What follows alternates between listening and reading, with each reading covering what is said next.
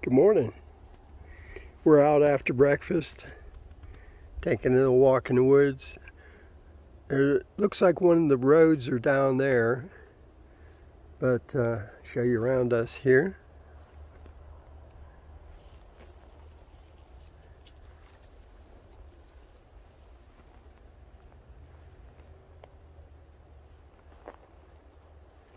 Yeah, it's pretty nice. Nice uh, group of pines. Grab my coffee here.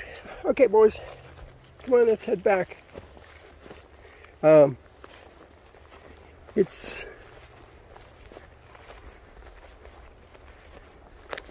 it's a nice little walk back through the woods here.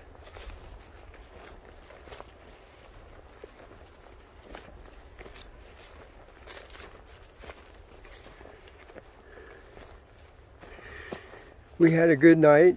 It uh, didn't get quite as cold as it did up in uh, Montana. Oh, spider web in the face. uh, but I woke up this morning and my sinuses were acting up pretty bad. And um, it gave me a uh, headache, one of those sinus headaches that goes like between your eyes, between your temples uh, and behind the eyes. Yeah, so uh, I'm not sure if we're going to travel now or not. It's pretty much gone because I laid back down and slept for a couple more hours. But, uh, hey buddy.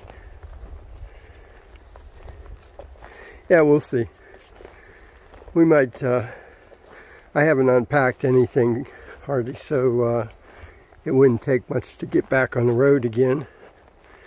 And it's a couple hour drive, I think it's closer to like two and a half hour drive down to Idaho Falls. We're going to stop there and do a little resupply. And then we're going to head over towards Arco. Idaho. Visit with Scar. It's a real nice area here. You can see where this is, uh, there's vehicle tracks going back in here, but they just go back a ways and they end. So just for people if they want to get back here in the in the shade of the woods, I suppose. But we did move up here to this spot and uh, it's quite nice. I like it. Now somebody has done, dug two big fire pits here. Here's one. And here's another over here. I'm not sure why people have to dig two, but someone did. They weren't satisfied with having just one. And yeah.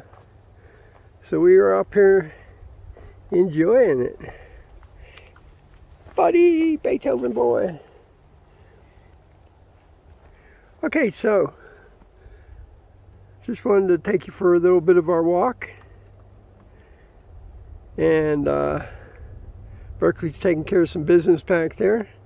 Take care. Have a great day. We will talk to you later.